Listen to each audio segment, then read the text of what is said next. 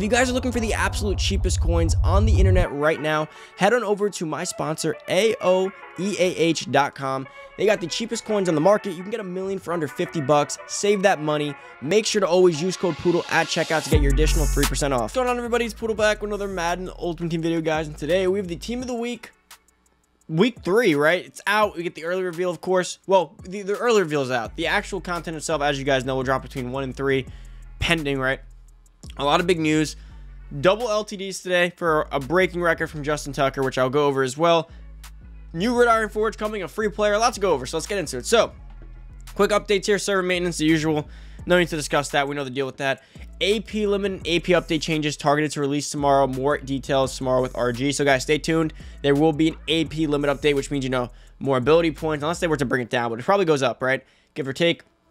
Here is the week of this is the monthly rewards, right? For September, the month of September. So if you guys played a Weekend League throughout the year, I'm um, after month, sorry, here are going to be your rewards depending on how you placed and how many total wins you had. So check this out here if you guys do want to, you know, screenshot this, pause here. That is fine.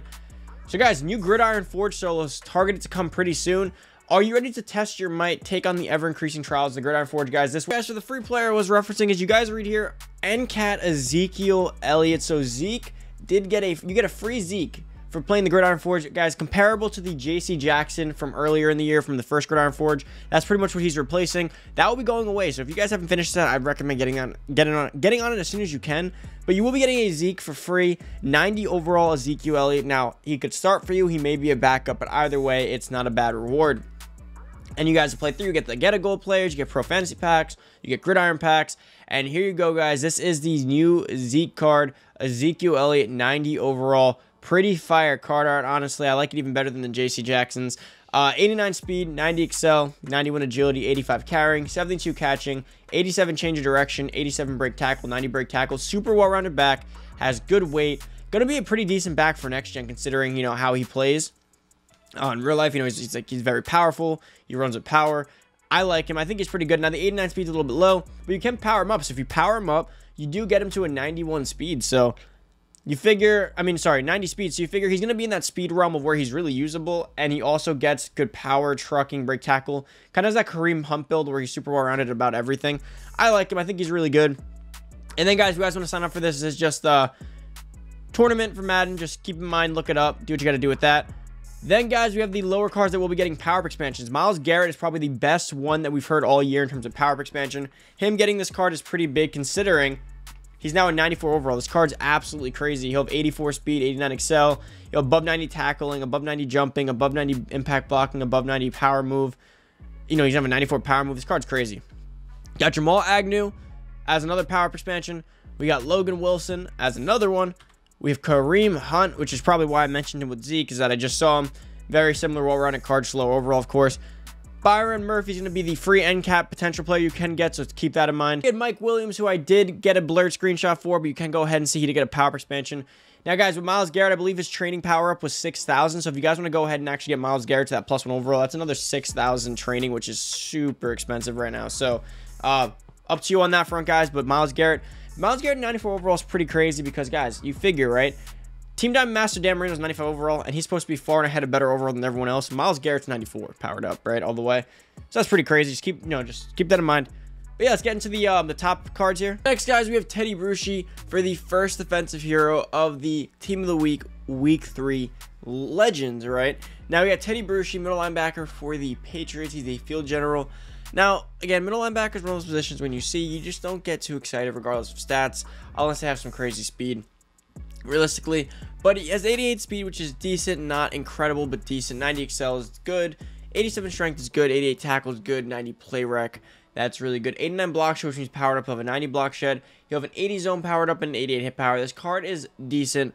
Uh, if you have a patch team team, of course, he's going to make it on there.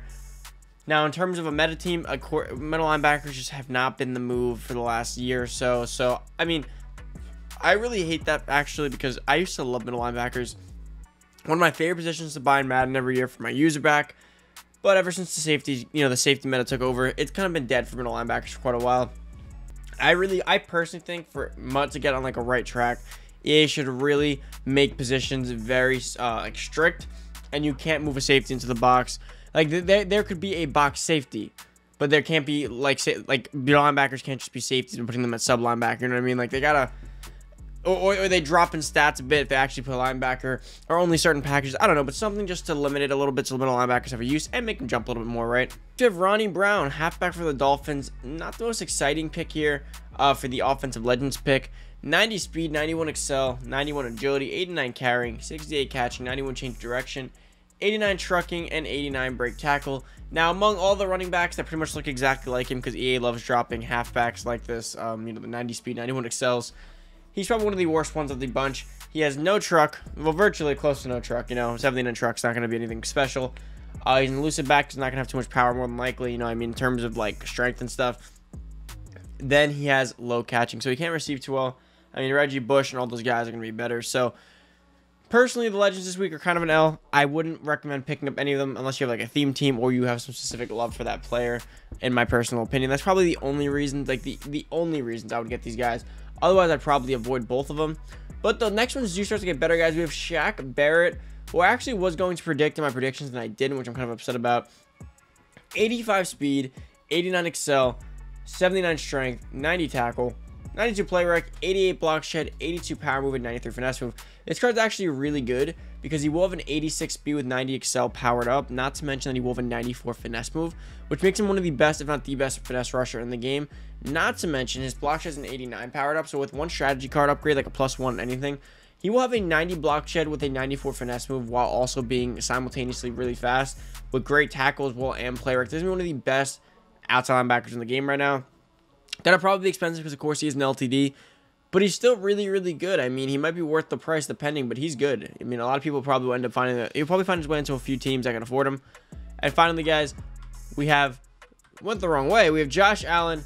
This is the one a lot of you guys have been waiting for. Josh Allen's probably going to be the best quarterback in MUT for a little bit.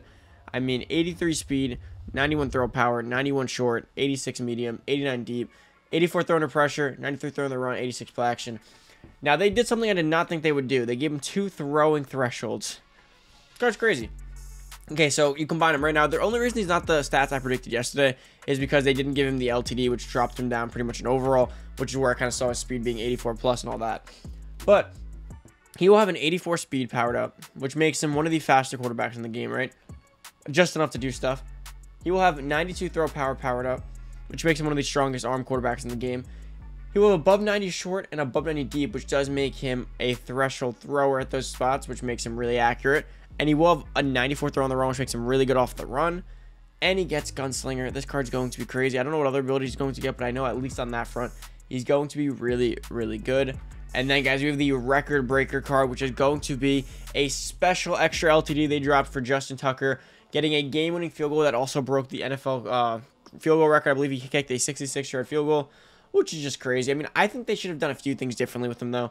They gave him a 93 kick power. I think it should have been higher.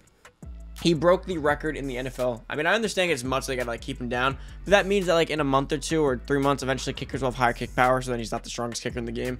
I really think they, or they should add a power expansion to when that comes, but they should have given him like a 97 kick power, just made him that crazy kicker for the rest of the year. Now, of course, he's the LTD, not everyone's gonna afford him, no one's gonna buy him, but make him what he's worth, right? That top that top tier kicker. And then, of course, if people can't afford him, that's fine. And later in the year, when they have more affordable kickers, you can catch up in kick power, right?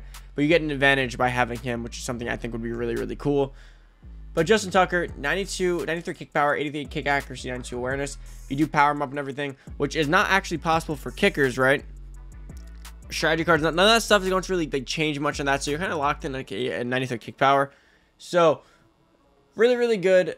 Gonna be super good at kicking. I really wish they would have given him like a 97 kick power and that would have just made him like, you know, super exclusive and then only some people could have him, which would have been really cool.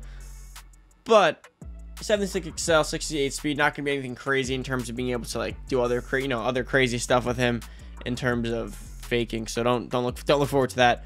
But guys, that's about it for that.